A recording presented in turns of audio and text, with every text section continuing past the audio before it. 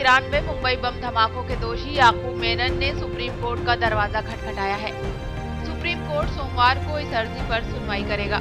इसके लिए कोर्ट ने तीन जजों की बेंच बनाई है। याकूब ने याचिका में कहा है कि उन्हें फांसी नहीं दी जा सकती, क्योंकि टाडा कोर्ट का डेथ वारंट गैर कानूनी है। 9 अप्रैल को पुनर्विचार याचिका खारिज होने के बाद डेथ वारंट जारी किया गया था। जबकि क्यूरेटिव पिटीशन सुप्रीम कोर्ट में लंबित थी। ऐसे में क्यूरेटिव से पहले डेथ वारंट जारी करना गैर कानूनी है। नियमों और कानूनी प्रक्रिया का पालन नहीं किया गया है।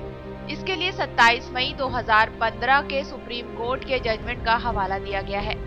News point bureau.